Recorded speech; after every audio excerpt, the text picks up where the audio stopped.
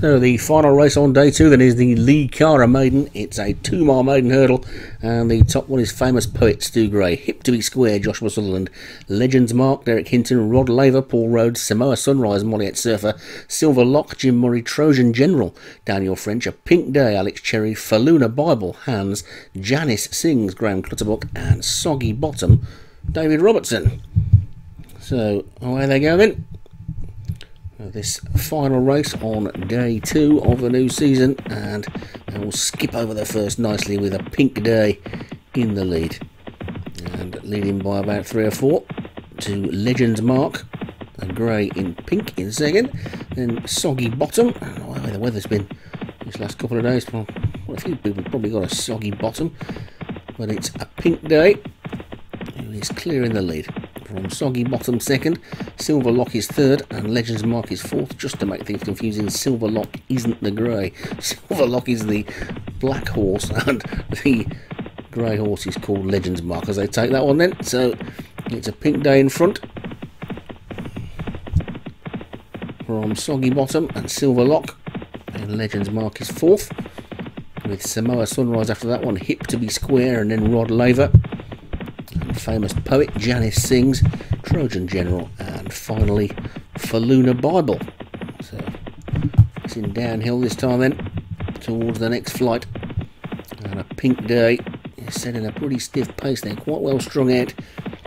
And Soggy Bottom is chasing in second, Silver Lock is third, Legends Mark is fourth, and then Samoa Sunrise with Hip to be Square as they take that downhill flight all over that one nicely. Faluna Bible, just the back marker, but still plenty close enough. And the jockey on a pink day having a sneaky look behind, see where the others are. And the lead is down to a little more than two or three lengths now. Silver Lock has moved into second, Soggy Bottom is third, and there's a gap of four to Samoa Sunrise and Legends Mark. And Hip to be Square with famous poet tucked in behind them. Then Janice sings the Second grey on the inside of Rod Laver with Trojan General. And then at the back Faluna Bible as they skipped over that one. And just four more flights of hurdles to take then now. And a little more than six furlongs to race. in a pink day is in the lead. A pink day trying to make it a red letter day for the trainer in front then. Soggy Bottom is second. Silver Lock is third and Samoa Sunrise is four. Then comes Legends Mark and Hip to be Square and Famous Poet as they take the fourth from home.